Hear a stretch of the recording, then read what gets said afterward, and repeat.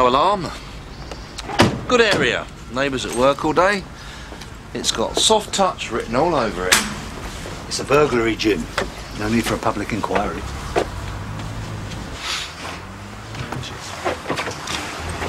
Yes? Mrs. Finch? Yes? I'm Detective Sergeant Beech, and this is DC Carver. So Oh, yes, yes. Do come in, come in. Thank you. Uh, I understand it was a neighbour who informed the police. Yes, uh, he saw the front door open. It was a bit of a shock when I got back and saw the police car outside. Yes. I'd only been down to the shops. It, it's pension day, you see. The officer told me not to touch anything. Uh, David, was it? Oh, that'll be PC Quinnan. That's right. The one with the nice smile. Well, at least the curtains and the three-piece don't clash no more. What are you, a decorator or a detective? Um, is there a Mr. Finch? No, no. He, he passed over last year. It was his, his lung, you know. Oh, I'm sorry. Uh, well, why don't you sit down? Oh, yes. Thank you, thank you. There you go. Uh, All right. You're, uh, I made a list. I don't know why they want most of it. It- It's not worth much. I don't know, but this grandmother clock, is it valuable? Only to me. It was my father's. I wanted to hand it on to my grandchildren. Jim, Thank you. Do you know who did this? ah, I'm afraid it's early days yet, Mrs. Finch. Oh, call me Edna. Okay, Edna. And what's your name, son? Um, I'm Don. Thank you, Donald.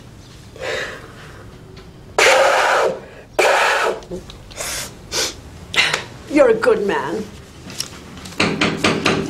Oh, You just sit there. Jim will get it.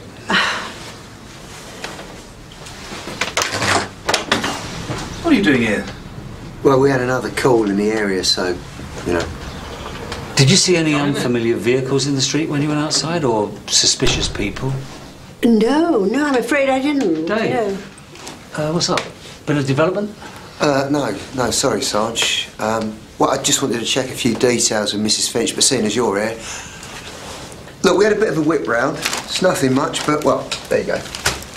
Oh, oh, Battenberg, my favourite. Oh, thank you, David. Isn't he sweet? Lovely, yeah. Oh, Yeah, right, well, best be off then, yeah? oh. See you later. Oh, I, I bet it was them. Who? Uh, two men driving around yesterday in a white van knocked on my door and asked if I needed any odd jobs doing. Do you remember what they looked like? They were in their thirties. Uh, one was ginger, large, like it had too many puddings. The other one was dark, bit of a bruiser. But it was so polite. I didn't think. I, I should have come to you lot. How could I be so stupid? Look, you're not to worry, all right? Now, we're going to do everything, everything we can to get your property back, aren't we, Jim? Yeah, of course. They must have thought they'd struck gold when Edna answered the door to them like that. They should be strung up by their thumbs. Let's make a few house calls, eh? They must be selling the stuff onto someone, mustn't they? We could try Mickey Dwyer. He'll buy anything, no questions asked. We've got bigger fish to reel in before we start dragging the bottom of the pool. Come on. Okay, okay. But you will ring if you do hear any whispers. Good man. Well, Harry Clark's in Shadwell. He's just started a five. Jimmy Mackenzie's gone back to Glasgow to be near his sick dad. And George Legg's retired to sunny Spain where he's spending his ill-gotten. So whoever this little firm's hooked up with, it's not the usual fences. Still working on the Finch burglary? Yes, Gov. Poor old girl's lost nearly everything. A Few sticks of furniture, sordid ornaments. Not exactly Chippendale, is it? It's the sort of stuff Mickey Dwyer used to deal in, isn't it? Yes, Gov. Okay.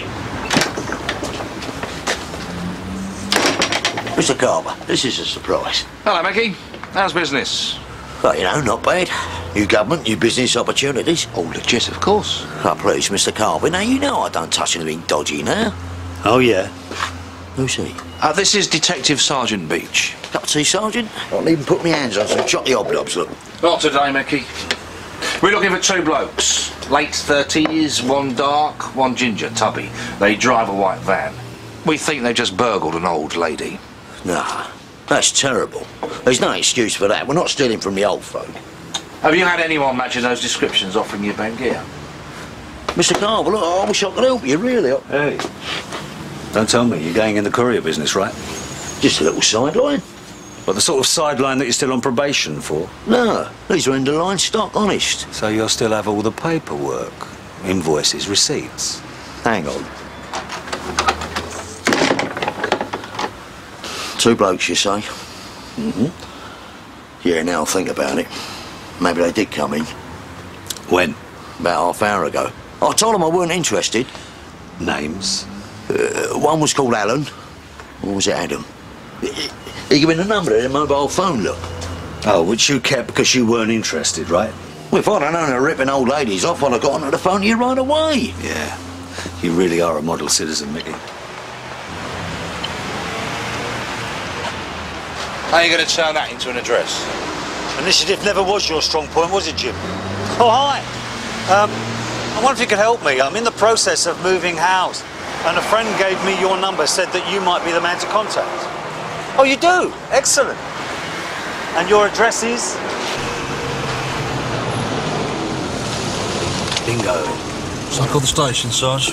Get some extra bodies for an obbo. Nah, they've probably still got the gear in the back of the van. Who knows? Might be able to get Edna her China back by tea time. But if they've already got rid of it, maybe we can catch them pulling another job.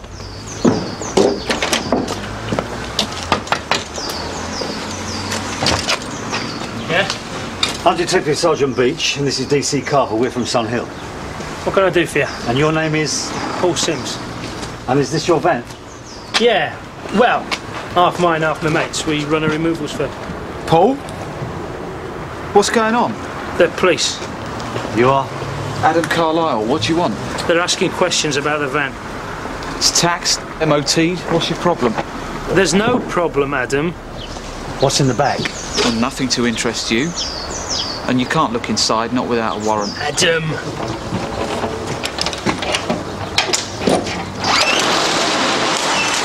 Satisfied?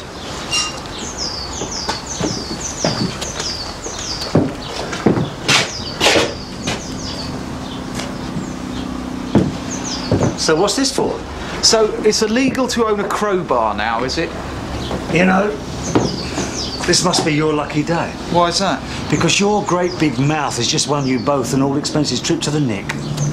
Where were you between 8.30 and 11.30 this morning? This morning? Hmm. It's a hard one. We've got a witness that puts you in Lasser Street trying to sell stolen goods. Who is this witness? For the benefit of the tape, I am showing Mr. Carlyle Exhibit DB1. A scrap of paper with a telephone number on it. You're talking about Mickey Dwyer, aren't you? So you were in Lasser Street this morning? No. Everyone knows Mickey Dwyer's got a record. And you'd believe him rather than me and Paul, who've never been in any trouble? He's got to be joking, hasn't he? Do I look like I'm laughing? Hmm? Do you think the old lady that was burgled this morning is still enjoying the joke? Perhaps this is a good time to take a break, Sarge. Yeah, good idea. So you haven't recovered any of the property they're supposed to have stolen? Nah, not yet. They must be hiding it somewhere. But you think they're going to lead you to it now? Well, looks to me like you jumped the gun. We've got enough to hold them, right? Oh, yeah, but... Then we're all happy, aren't we? Yeah? Cryer, custody. Yeah, Don. Yeah, cheers, Reg. Mrs. Finch in the front office for you. Oh, hello, Donald. So, Edna, have you remembered something? No. Oh, I'm sorry, Donald. I, I know you're terribly busy, but uh, I thought you wouldn't mind if I just dropped in to see if there was any news. You could have just phoned. they took the phone. Oh, yeah. I am sorry. It's just that every sound I hear, I think they've come back again, and uh, I, I won't be able to sleep until you found them. Um, look, Edna, this is just between you and me, right? Okay. We do have two suspects in custody. Oh, do you think they're the ones? Yes. So you've got my things, have you? Not yet, but we think they might lead us to your property. Oh, you don't know what peace of mind that gives me. Um, look, you're going to have to excuse me, Edna, all right? Yes, I know you've got work to do. But I'm sure that Reg here will help you sort a taxi out. I don't want to be any trouble. For you, Edna, it's no trouble at all. Oh, thank you, Donald. Excuse me. Yes, Jim. It's Carlyle and Syms, Sarge. They're whinging about being released. Oh, great. Did Mrs. Finch give us anything new? Nothing. So what are you waiting for? We're going to have to cut them loose.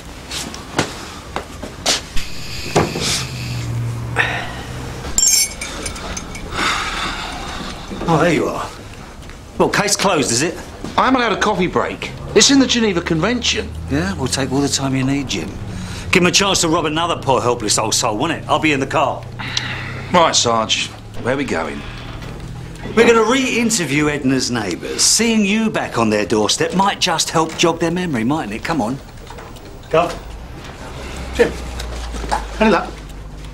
Well, we've hit a bit of a dead end, Gov, but uh, Sergeant Beech isn't prepared to accept that.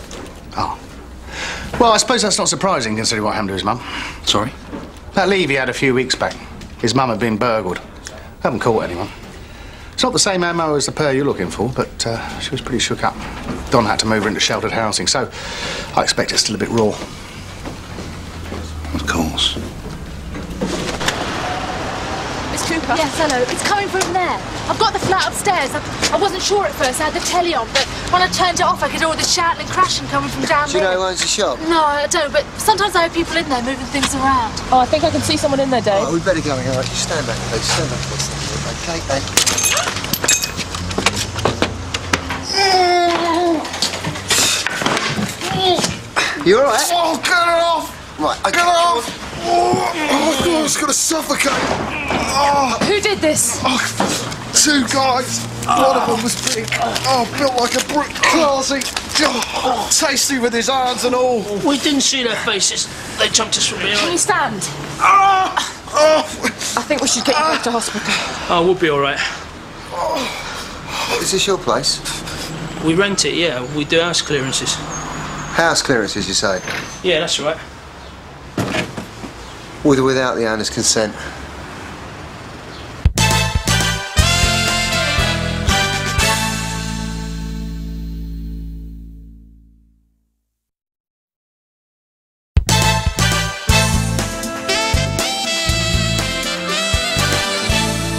As well as a few cuts and bruises, Syms has got a couple of cracked ribs, and Carlyle's got a badly bruised collarbone. Yeah, well, I hope it doesn't hurt. Thanks, Jamilla. Dave? All right. Oh, great. Here come the reinforcements. I never thought house moving could be so dangerous. We want police protection. Adam. Oh, come on, Paul, they're psychos. Who are? I don't know. They were waiting for us when we left the Nick. They bundled us into a car, told us to take them where we keep our gear. When they couldn't find what they were looking for, they, they just went ape. So what were they looking for? Look, we've checked all the property in your shop. We know you stole it this morning. It was a clock. What kind of clock? You know, a big thing, like a grandfather clock. So where's this clock now? We've already sold it. Who to? Mickey Dwyer. There's one thing I don't get. How they knew we had Carlyle and Syms in custody. It's your pal Mickey Dwyer you should be looking at. He's the one who's got some questions to answer. Mickey likes a long liquid lunch. It's probably still in the pike's head. pay good money for that. Police!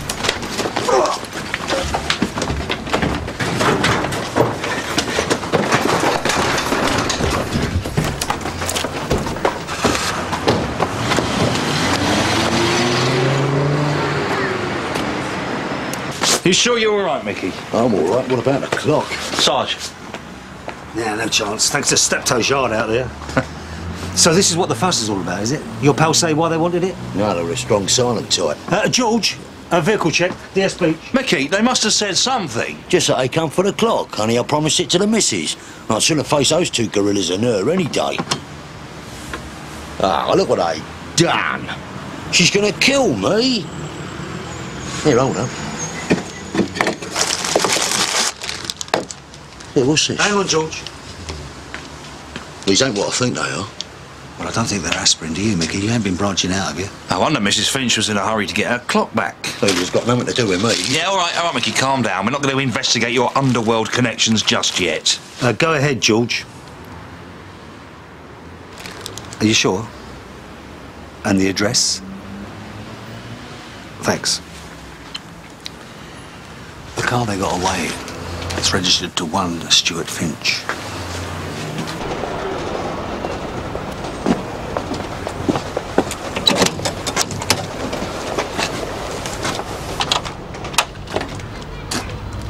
Donald, what are you doing here? Hello, Edna. We're looking for a Stuart Finch. Is he a relative of yours? Yeah, he's my grandson, but he's not in at the moment. So where is Stuart now, Edna? Oh, he's out with Ian, Ian? his brother. Oh, where are my manners? Would you like a cup of tea? Uh, no, thank you, Edna. Look, would you sit down, please? This is really serious, Edna. We need to find Ian and Stuart. We think they're involved in three assaults. Oh, no, you must have made a mistake. No, our family's never been involved with the police. Assaults or no? No, don't tell me I should have known. No, what, Edna? Well, they're good boys, really, but when I told them about the break-in, they got really angry and they said that the courts would only give the burglars a, a slap on the wrist. They're hot-headed, you see. Uh, is that what happened? Did, did they find out who broke in? Yes, it is. Do you know how? No, no. How should I know? Edna, where are your grandsons now? Uh, well, I can't help you, Donald. I, I'm sorry. You, you know I would if I could. Yeah. Does this mean that I'll never see my things again? Actually, we think we may have found your clock, Mrs. Finch. Really? Oh, that's that's wonderful. It is a grandmother clock. Uh, yes, yes, it was. But of course, I'd I'd have to see it, make sure it's mine. It's at the station. If you'd like to come with us now. Uh, well, no, I did say I'd get the boys' tea ready. Well, the sooner you identify it, the sooner you can have it back. So you know what to do then? Well, yeah, but so how do you want it? Relaxed, laid back, or, uh, or mean and moody? I'll leave the artistic interpretation to you, all right? Ah, ready, Jim? Yes, Sarge. This way, Edna.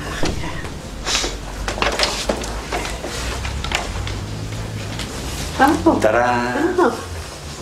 So, what do you think, Edna? Is it your clock? Well, uh, now that I see it, I'm not sure. Um, it looks uh, sort of different somehow. I, s- I suppose I, I'm used to seeing it at home. Come in. Oh, sir, the DI's looking for you both. Uh, it sounds quite important. All right, Rich. We'll not keep him waiting, have we? Um, look, Edna, uh, take all the time you need, all right? Yeah. And uh, we'll be back soon. She didn't ID it straight away, did she? Could be she isn't sure whether we know about the drugs or not. Aren't you ignoring a simpler possibility, Jim? What's that? That she doesn't know anything about the drugs. Well, I think she's had enough time, don't you? Shall we go back inside and see who's going to buy the drinks tonight?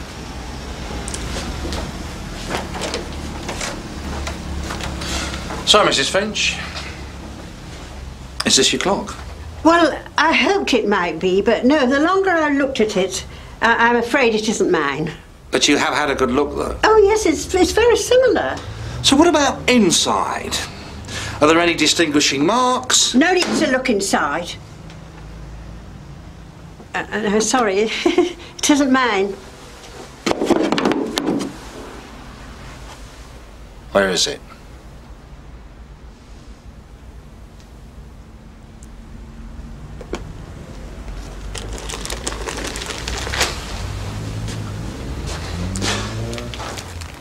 Do you know what this is, Mrs. Finch? No, I don't know.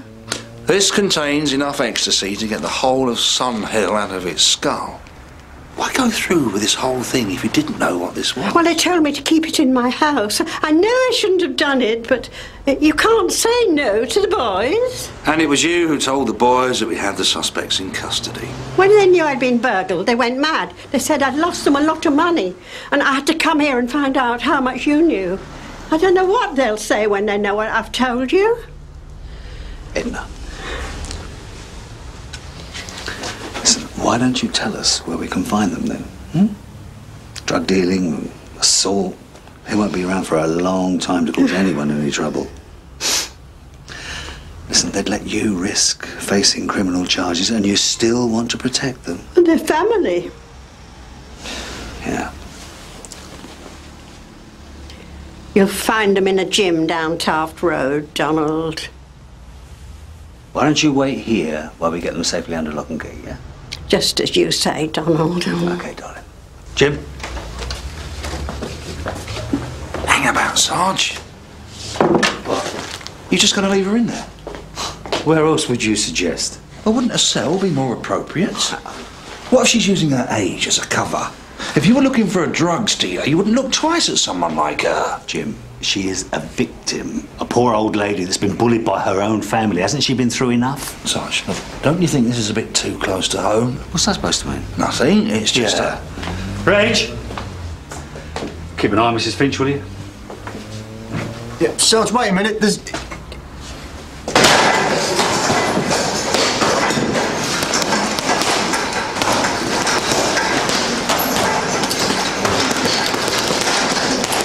In Stuart Finch. Detective Sergeant Beech Sunhill. Oh, yeah?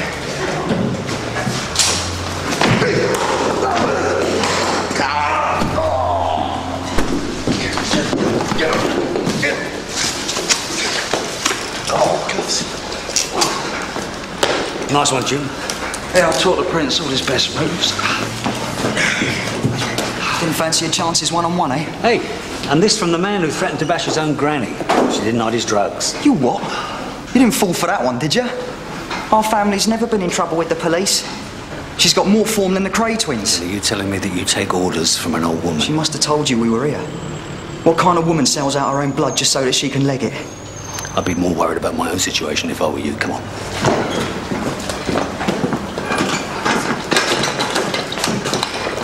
Like, see, this is a police station. We don't sell bus passes. Reg! Reg, where is she? Uh, oh, she went home. You what? Well, you didn't say anything about keeping her here. Door, Reg!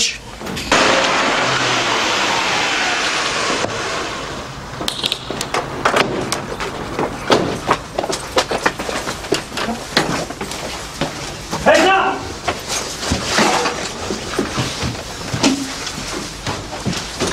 Heads up!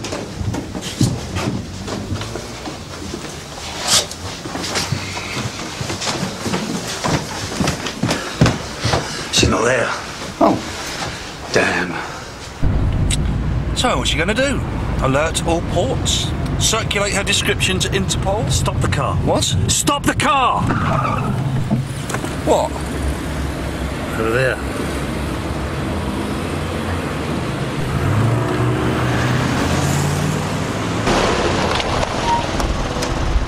Hello, Edna. Can we give you a lift? No, thank you, Donald. My boss will be along in a moment. Going anywhere nice? Yes, sir. I'm, I'm going to Brighton to my sister's. I think where you're going, Edna, she'll be visiting you. Balls! Balls! Oh, God! In your car.